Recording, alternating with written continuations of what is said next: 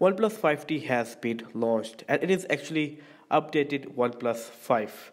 So in this video I'm going to talk about OnePlus 5T and OnePlus 5 was launched in the June so why there is need of OnePlus 5T. So in this video I will talk about these things. So OnePlus 5T is almost same specs but totally a new design. Now talking about the OnePlus company, OnePlus company is actually very very active company. They actually listen to their fans and react as soon as possible. Let's take example of OnePlus 3.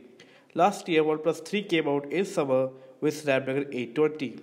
Now when the Snapdragon 821 was available in the same year, they come out with the OnePlus 3T to give better specs, actually a totally latest specs to their fans. This is the thing happened with the OnePlus 5 too. OnePlus 5 came in June and now OnePlus 5T has been launched with same specs, almost same specs, but totally a new updated design. Now in 2017, you already know that designs has totally been changed. They moved from 16 to 9 to 18 to 9 body ratio uh, and bezel-less design. So this is what OnePlus also did with the OnePlus 5T. So OnePlus 5 was already a great phone in June and OnePlus 5T is almost the same with a new design. So OnePlus 5T gets 18 by 9 ratio display that is a bezel-less display. And yes that fingerprint sensor has been moved to the back and it's look very pretty. Frankly speaking it's my favorite device in terms of design and specs are already insane. Now what's new in terms of specs? Then there is nothing new but a little single thing that is a camera.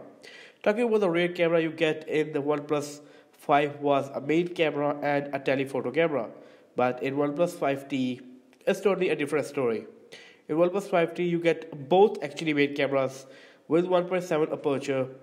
That is a sense that makes a sense actually that it gives a better image in a low lighting.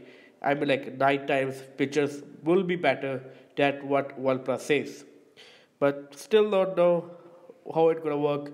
But still, both cameras are almost same with 1.7 aperture for a better purpose of actually giving better pictures in a low lighting. How it will work we definitely see in this future. Well, this was only the difference in OnePlus 5 and OnePlus 5T. A new design and almost a new camera. Now, what do you think about this video? What do you think about this device? Let me know in the comment section below. But also, starting price is 499 bucks and available from 21st November. Grab it. And I will catch you in the next one. See ya.